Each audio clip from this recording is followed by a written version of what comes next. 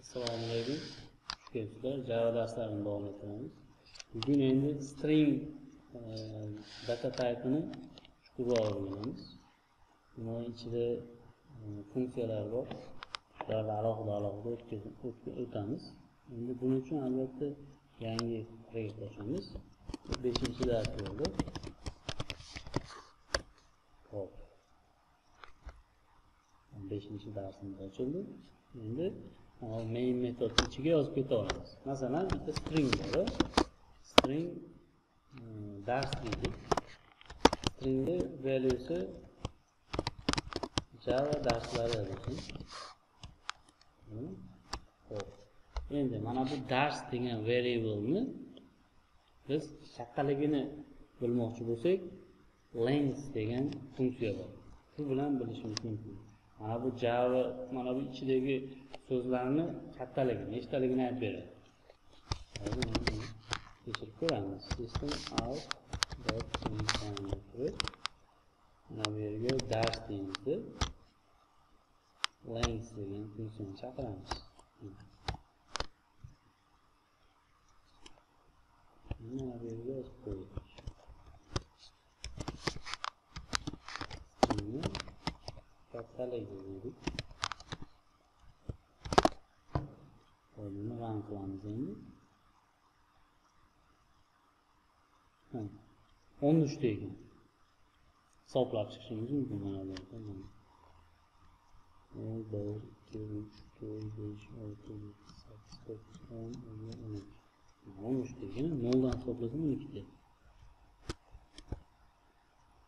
nechta karakter borligini bizga chiqarib beryapti. Masalan mana bu java darslarini o'rniga yana bitta qo'shishimiz mumkin. Masalan java onlayn darslari desak endi mana bu o'n uch taqtayishi kerak bizga.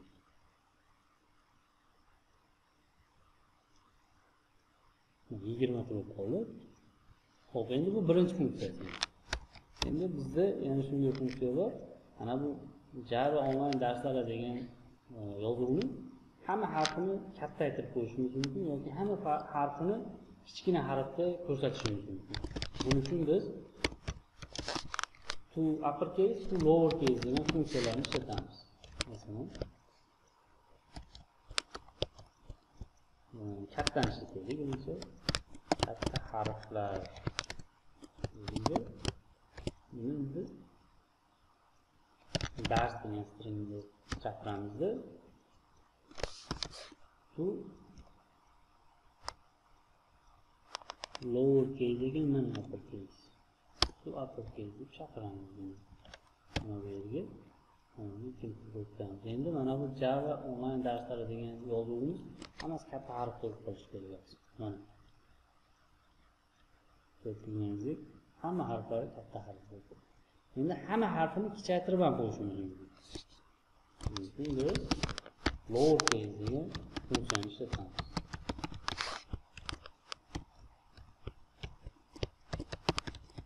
kichik harflar deylik.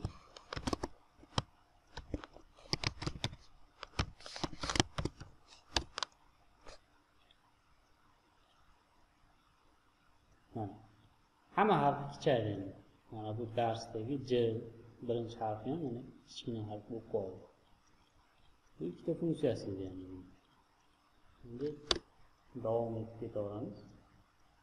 Endi masalan qaysi harfni nechanchi o'rinda turganini ko'rsatib berishimiz mumkin. Uchun biz index of degan funksiya bor. Shuni chaqiramiz javobi. Harfni o'rni deylik. O'rni raqam deylik. Hop, buni shuni darsni index of degan hmm, funksiyamiz bor. Uni ichiga ikkita qo'shimni ochamiz string. Endi qaysi harfini nechinchi o'rinda turganini bilmoqchisiz masalan o ni bilmoqchisiz hozir oni nechinchi o'rinda turganini aytib beradi. Beshinchi o'rinda turibdi ekan o nol bir ikki uch to'rt besh.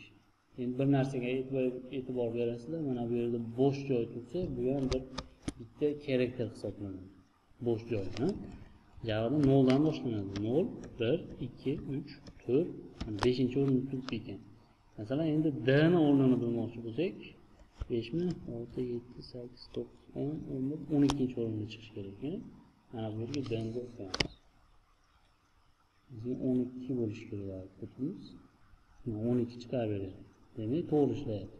Harfni nechinchi o'rinda turganini aytib beryapti bizga to'g'rimi? Endi yana bitta funksiyasi bor.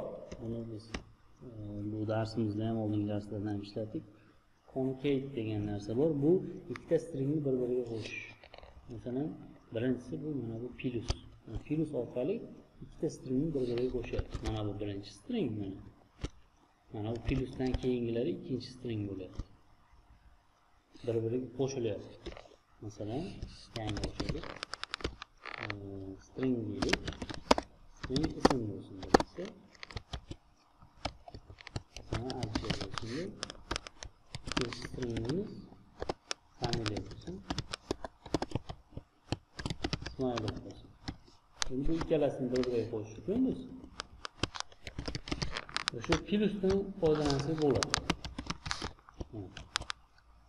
birinchi ismni yozib plus plyus qo'yib turib familiya qo'yib qo'yamiz lekin hozir yopishib qoladi bu holat chiqsa ism bilan familiya yopishib chiqishi kerak. Orasini ochish uchun oraga yopishib qoldi. Orasiga mana plyusdan keyin endi bo'sh joy qoldirib undan keyin ham bitta plyus qo'shib qo'yamiz. Endi orasida bitta space bo'lgan tashqari. Bu birinchi yo'l. Ya'ni ikkinchi yo'li bu.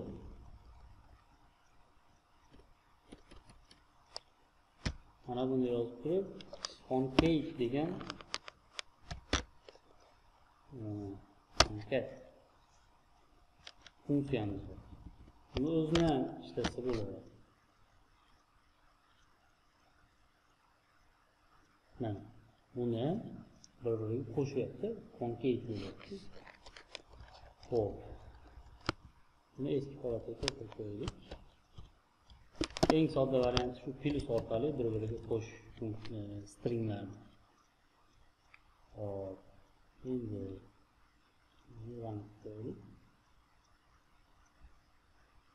endi masalan shunday e, o'rinlar keladi. Masalan mana buni ichida onlayn deganni ikkita qo'shma ma'noda orasida ko'rsatmoqchi bo'lishi mumkin. Bunday hozir bizga xato beradi buning uchun bizga special character deydi maxsus e, xarakter bor. Ko'ramiz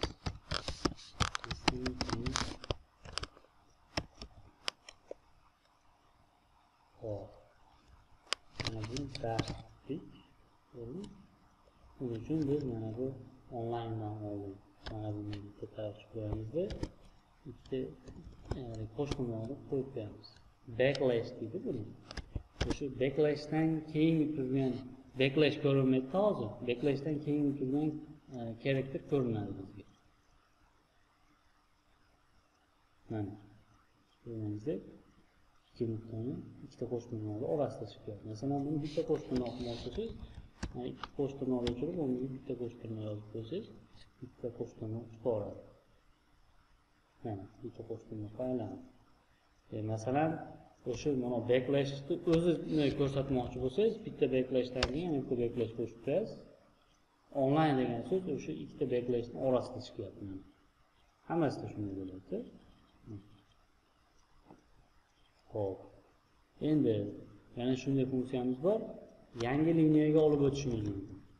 Shuning uchun biz masalan javani javadan keyin onlayn darslarni so'zlarini keyin qatorga tushirmoqchi bo'lsangiz masalan yana beklash qo'yasizda n qo'yib qo'yasiz n lotincha n deb qo'yib qo'ysangiz yangi qator ochib beradi. Javadan keyin hammasi pastga tushib qoldi. Java tepda turibdi onlayn darslar pastda turibdi.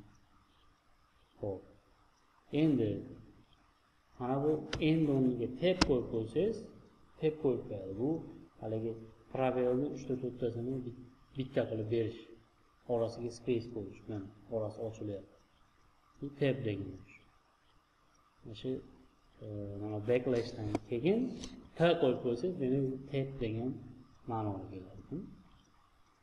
Hop, menimcha bo'ladi string bo'yicha. Bugun shu stringni chuqurroq o'rgandik. Demak, stringni hamma harflarni kattaytirsak bo'lar yoki hamma harflarni kichik holatda ko'rsatsak bo'larkan yoki qaysi harfni nechinchi qatorda turganini bilmoqchi bo'lsak index of degan funksiyani orqali bilishimiz mumkin ekan. Yoki e, stringni kattaligini bilmoqchi bo'lsak length degan funksiya orqali kattaligini bilsak bo'lar и e, albatta ikkita stringni bir biriga qo'shish uchun plus yoki concat degan funksiya ishlatamiz ekan menimcha bo'ladi bugungi amilaga rahmat keyingi darsda ko'rishguncha.